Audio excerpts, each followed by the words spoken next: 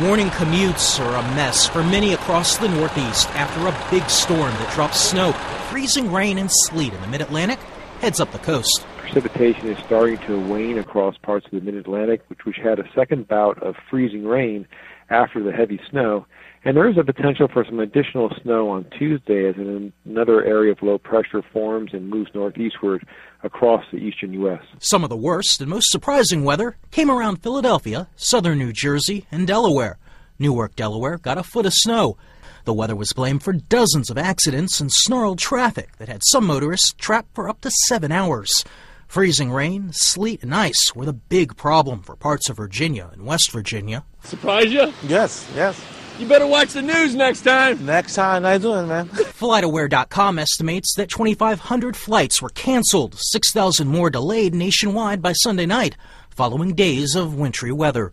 Matt Small, The Associated Press.